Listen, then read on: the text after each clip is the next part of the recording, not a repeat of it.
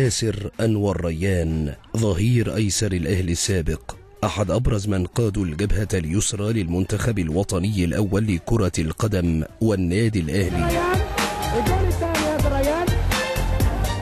كان يتميز بالسرعة العالية نال لقب النفاثة بالملاعب خلال فترة التسعينيات وكان معروفا بعشقه للقلعة الحمراء. أرضية حسام حسن وحسام هلوة. جوه جول جوه جول. ولد ياسر ريان في السادس من مارس عام 1970 بقرية منية محلة دمنة بالمنصورة في محافظة الدقهلية.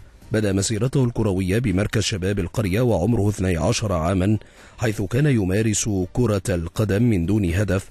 ساقته الصدفة ليذهب مع بعض أصدقائه أثناء خضوعه للاختبار بنادي المنصورة.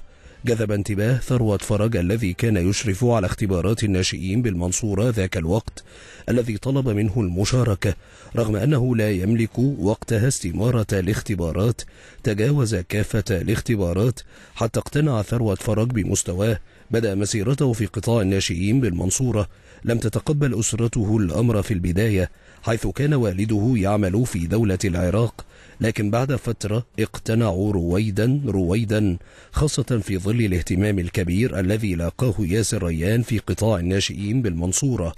تدرج ياسر ريان في مراحل قطاع الناشئين بالمنصورة تميز بسرعته الفائقة بين أقرانه حتى خطف أنظار الجهاز الفني للفريق الأول بالمنصورة. كان عمره وقتها 17 عام تحت قيادة حمامة ووجدي غزي اللذين كانا يقودا الفريق الأول بالمنصورة وقتها. شارك مع الفريق الأول لمدة موسم في دور القسم الثاني ثم موسمين بالدور الممتاز. هما الأفضل له في مسيرته مع أبناء الدقهلية.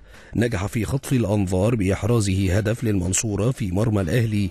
كان يتميز بالتألق في مباريات المنصورة مع الكبار ومن خلال المنصورة نجح في حجز مكان له في صفوف المنتخب الأولمبي سواء تحت قيادة هاني مصطفى أو تحت قيادة محمود سعد.